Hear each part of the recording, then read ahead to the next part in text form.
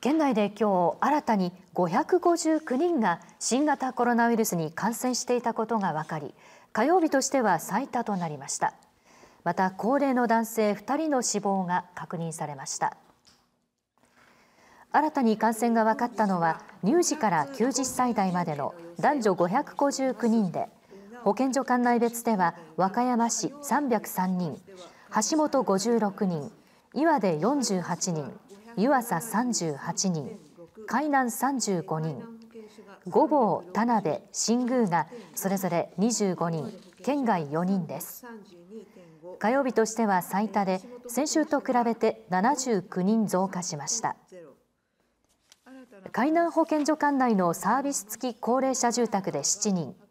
和歌山市内の有料老人ホームで9人和歌山市内の高校で9人が感染。県は168例目から170例目のクラスターと認定しました。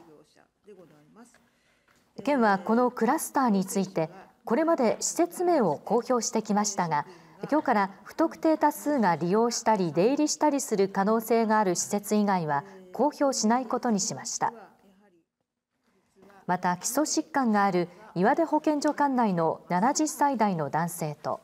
湯浅保健所管内の90歳代の男性の2人の死亡が確認され死者は合わせて73人となりました。